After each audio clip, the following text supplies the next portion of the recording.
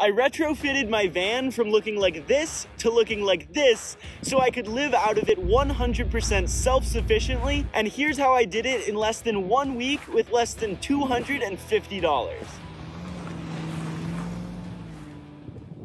Hey, how you doing? It's Neil, and on this channel, I show you side hustles and info on how to make money with the goal of traveling the world. If you watch much of my channel, you know I'm all about finding creative ways to save money for the things that are really important to me. So when I bought this dark blue Ford Econoline van, I wanted to keep it as simple as possible and avoid the really expensive renovations that lots of people do. I'm also a full-time student, I have a part-time job, I run an e-commerce business, so I didn't want to have to be spending six hours a day doing carpentry for like two months. That's why I found a van that I wouldn't have to do too much work to, and I used a lot of materials that I already had. This van already pretty much had a bed, and that's gonna save me a ton of time and money, which is great, and then I thought about what else I needed. I knew I wanted that bed, that's pretty essential if you're gonna camp or live out of it. I wanted a heat source even when the car's not running, energy and lights when the car's not running, a water source, a way to cook, and of course, the most important thing,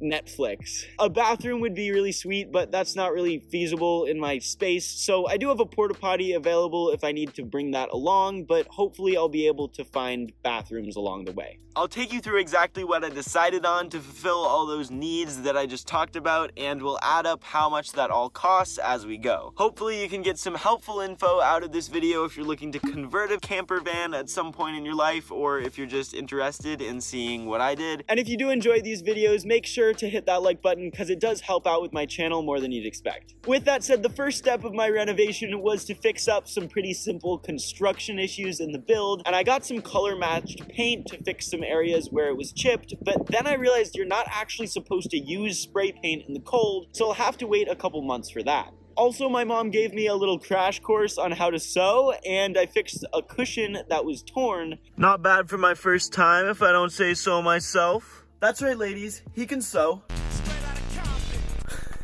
Now it was time to work on the electricity in the van.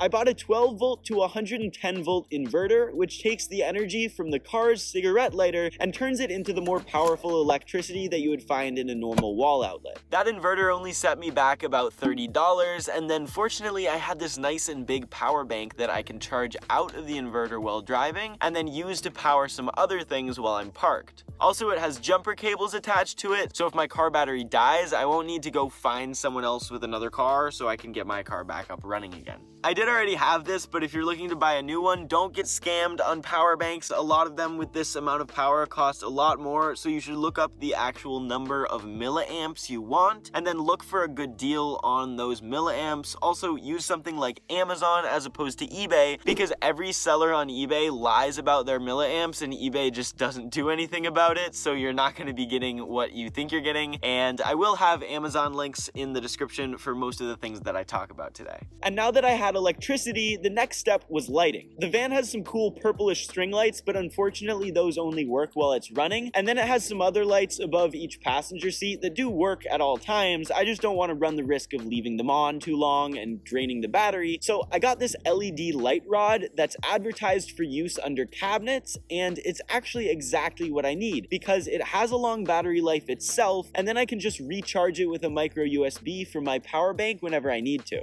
I set it up with Velcro all across the roof so I can move it to different places and then I can take it off its little magnet if I want to hold it in my hand or just wave it around like a lightsaber. It cost me under $25, so if I decide I want more light, I'd consider getting a second one in the future, although I think it does a pretty good job on its own. I live in New England and it's really freaking cold here, so I need a source of heat apart from just idling the car because that's pretty ridiculous. And electric heaters also take a lot of energy to work, so they wouldn't work out of my power bank. So I decided to go with one of these little Mr. Buddy heaters, which uses propane for fuel. It cost me $73 and I'll call it $100 to include like seven cylinders of propane. Plus I found this cool hack on YouTube where you take the grate off of it, flip it around, and then you can cook with a pot or pan on it. I do have a camping stove that I can use as well, so depending on the trip, I'll probably bring that along too. But if you don't have one or you're looking to save space, this knocks out two of my requirements in one.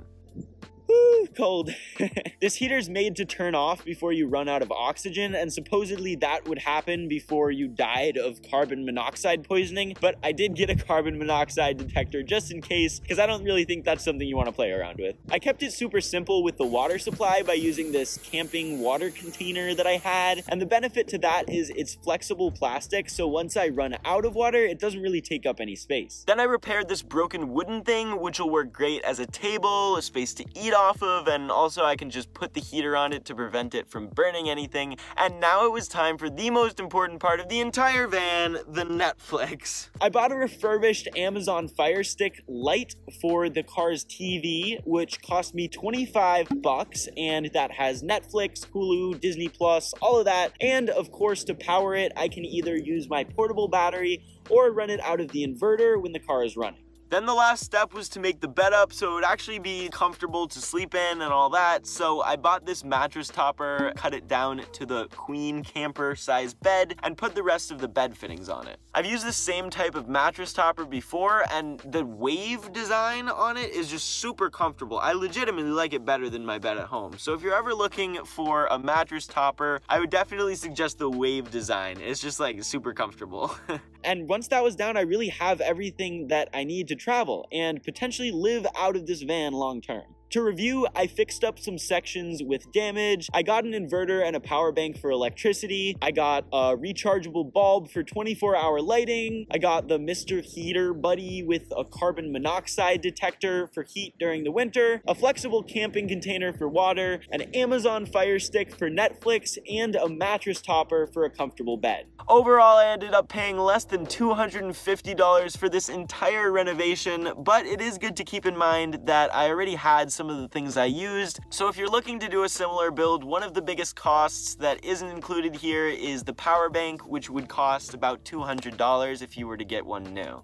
If you're looking to experience the hashtag van life, but you don't have a ton of money, time, carpentry experience, anything like that, I think a great way to go is to get one of these older conversion vans because, well, it's not exactly made for living out of, it is a lot closer to that than the empty white van that you have to build from the ground up and it's a really cheap option because like it already comes with the bed so any increase in the price over just a white van really is covered by the bed that it already has. Now I decided to keep these two back seats here because I wanted to be able to drive around other people but in the future if I wanted to add a little kitchenette with like a sink and a better stove burner thing I could definitely take out these seats and put that in in their place. I'm not sure about all my plans yet because because I have to work around COVID restrictions and stuff like that. But I know I want to do some traveling this spring and I'm really excited to get on the road. So if you're interested in following my journey, make sure to hit the subscribe button down below. Also, don't be afraid to comment what I did wrong or what I could like improve on because this will always be a work in progress and I'd love to add improvements to the van as I go. Thanks for watching. Hit the like button if you enjoyed the video or you learned something new and I'll see you next week.